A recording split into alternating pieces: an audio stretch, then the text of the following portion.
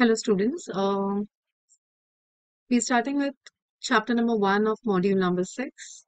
The name of the chapter is Numerical Solutions of Transcendental and Linear Equations. Before we start with the chapter, you need to understand the two types of equations that we'll be solving here. One is algebraic equations and the other is transcendental. So when I say algebraic equation, let's understand this with the help of an example. Say I have x cube minus 3x square plus 2x minus root 5 equal to 0. Or I have x, y, z square equal to 1 over z minus root x. Okay. Any equations, any equations which consist only of variables and uh, numbers and operations between them will be termed as algebraic. Okay. And if I talk about transcendental equations now, I'll have say x cube sine x minus 1 upon log x okay equal to 5 so what's the difference here as you can observe we just don't only have variables and number we also have special functions okay? We have special functions like you can have exponential you can have logarithm you can have cosine you can have tan things like that okay? So i may have e raised to 5x is equal to 1 over x. Any such equations any such equations they're all termed as transcendental. So the chapter is going to deal with methods of okay? And uh, the chapter is divided basically into two parts. The second half is what I'm starting with first. It is a solution of linear system of equations. Now, when we talk about this particular part, uh, as per your syllabus, this part is divided again into two different methods. Sorry. The two methods included in your syllabus are Gauss-Jacobi's and Gauss-Seidel. Okay. This lecture is going to be about Gauss-Jacobi's like solution. Okay. So Gauss-Jacobi's method, before we start with the method, few things to remember. Specifically for this particular method and otherwise also for any uh, numerical methods. The entire chapter is about numerical methods. Few things which are common to all methods. First thing, you will always fix your calculator. You'll always fix the calculator to four decimals. Okay. Now, how to do that? I'll just show you here. I have uh, ES calculator with me. I've done some calculations in it. Okay. Uh, you might be having a CW or whichever other calculator. So in the ES calculator, you go to shift mode just a second, let me come out of this. Okay, shift mode. As I go to shift mode, I see option number six is fix. Because I have to fix it to four decimals, I'll press four there and my answers will be all fixed up to four places. Okay, I'll just show you an example. Say if I put 1.025697, any numbers, any numbers. I've put more than four decimals, right? When I press equal to, my answer will always be in four decimals automatically rounded and given to me. So that's what fixed does. So numerical methods, entire chapter, you will fix your calculator to decimal 4, whichever method you're doing. Second thing, if you're doing sums based on sine, cosine, tan, etc. Unless it is not mentioned, set your calculator in radian mode. Okay, set your calculator in radian mode. Um, let me show you again here. I think, no, not in mode. I go to shift mode. You'll have option number four here as radian. And, uh, okay, I don't have an option of zooming in. But just on the screen, there is an R which is visible there. Okay, and that R tells me that my calculator is in radian. Okay. So that is the second thing. Now coming specifically to Gauss uh, Jacobi's method, what you need to remember is your question should be diagonal dominant. Question should be diagonal dominant. Now, what is diagonal dominant and what if the question is not diagonal dominant? What to do? We'll understand with the help of an example. Okay. So let's understand the method with the help of an example. the question is solve using Gauss-Jacobi's method and the question limits you to three iterations. The question limits you to three iterations.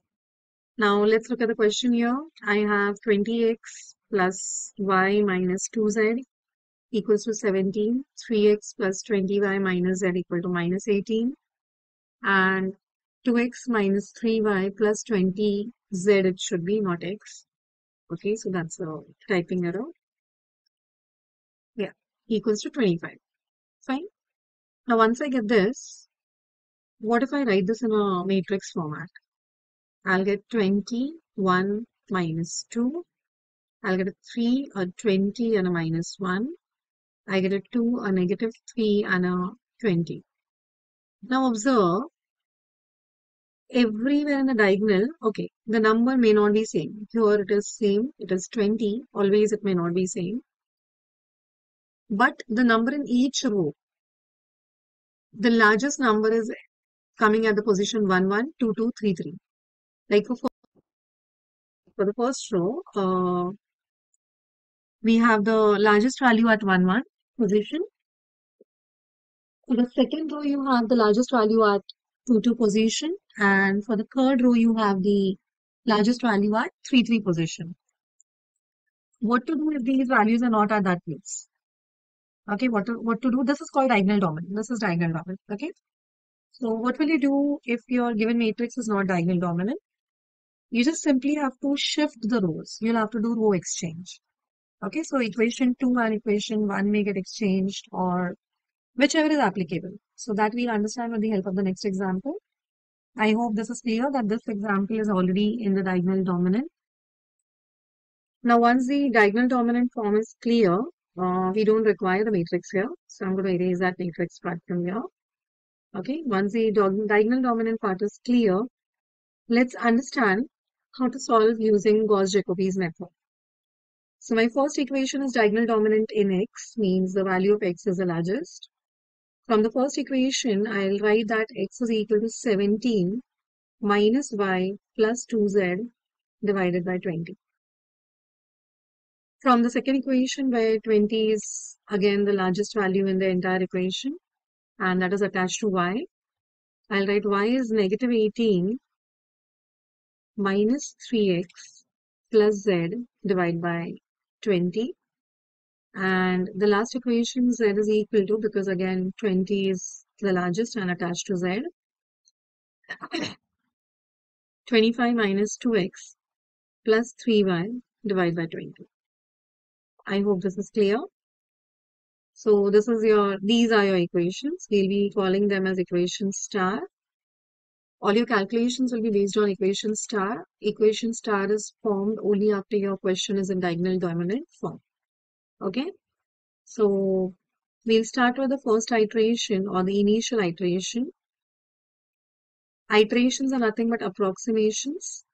Okay. And every time you approximate, you try to improvise. You try to make it a better answer.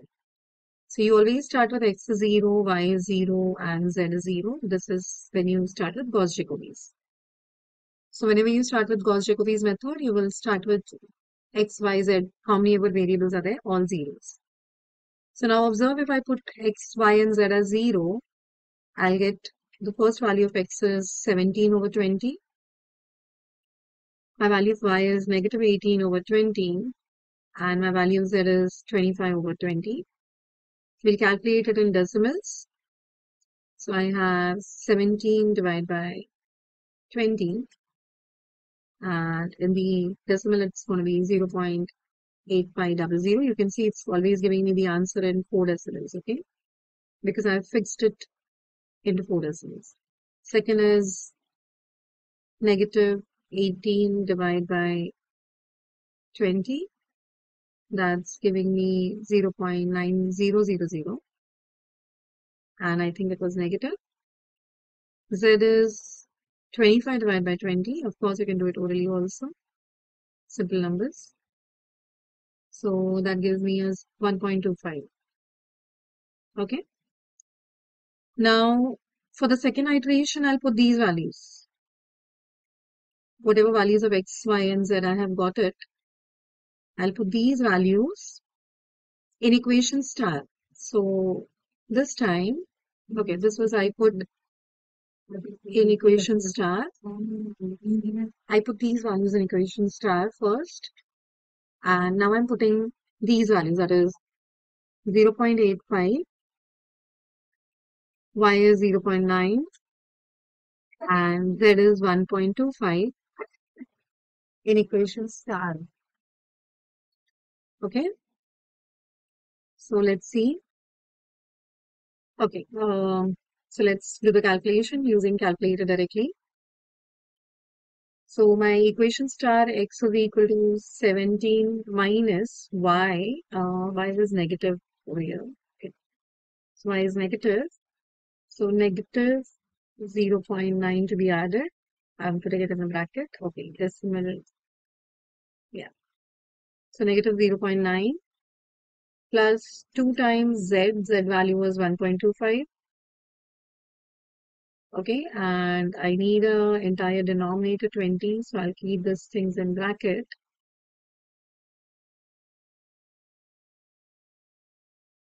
And now whole upon 20 okay so again as d I get a 1.02 x is 1.02 or 1.0200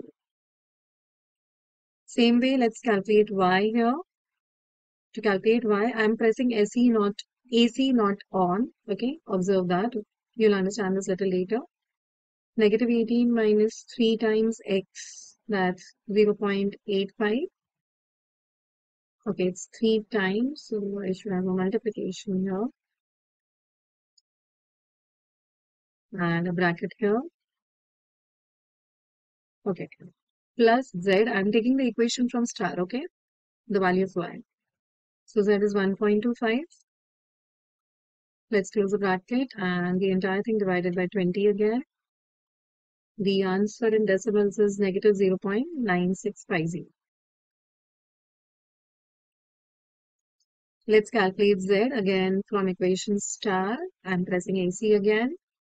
So 25 minus 2 times 1.02. You may write the 00 or you may skip that plus 3 times, because there's a negative number, I'm putting a bracket, 0 0.965, closing the previous bracket as well, the entire thing divided by 20. Okay, some error and the input.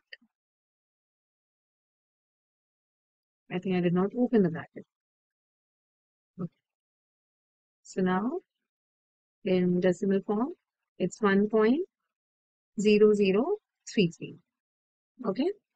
So now for the third iteration, I'll put again these values in equation star. So when I do that, what is going to happen is I'll keep repeated values. I'll just show you these are some values which I've already calculated. And uh, you'll find Okay, uh, this should not be the first iteration. This is just the initial one. So this is the zeroth iteration, the initial one. This was the first. This was the second. You are expected to find three iterations. So you will get the third here and fourth and fifth. Okay, you can check the values. Now, why did I do it till five iterations? Not all questions will ask you to, you know, stop after three iterations. Observe that the values are becoming very, very close and they're not uh, you know, different. And that's when you stop the iteration if the number of iterations is not mentioned. Okay. So this one question I'm leaving at as your homework. I want you guys to try that question. I hope the method is absolutely clear with all of you. Thank you.